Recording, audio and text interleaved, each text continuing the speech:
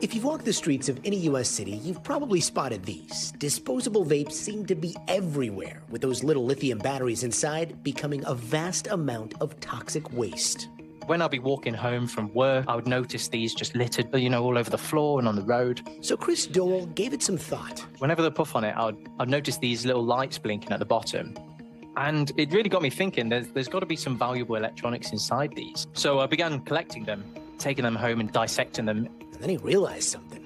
They're meant to be used at least 500 times, but we're using them once and throwing them straight in the bin. Then he realized something else. A battery is just a battery. So he collected 130 of them left behind at a music festival and turned them into something remarkable.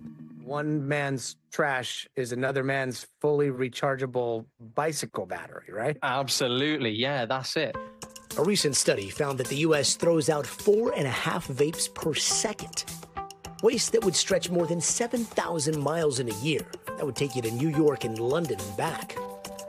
This e bike battery has got 13 little 3D printed modules that all stack together to build a massive battery pack.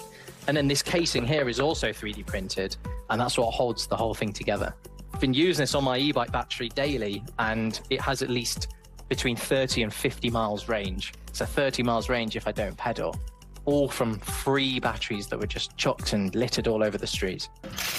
And things are just as bad in the UK, where they throw out 1.3 million of these things every week. Lucas Gutterman studies this stuff for a living. There's just no standard way to recycle these products. Consumers are, are, are really confused what to do. They want to do the right thing. And so, really, they just shouldn't exist at all. And, and we really have to move away from these single use disposable vapes. Even with the popularity of single use vapes exploding in recent years, Gutterman says things are moving in the right direction.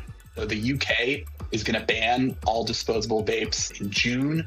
Australia has already banned, and there's interest from states from California to Kansas uh, to ban uh, disposable vapes in the US as well. In the meantime, Chris is out there giving hope for a new kind of buzz, one that turns waste into something charged with purpose.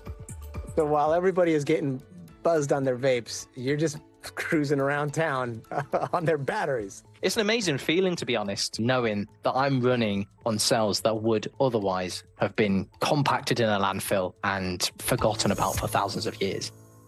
Thanks for watching. Stay updated about breaking news and top stories on the NBC News app or follow us on social media.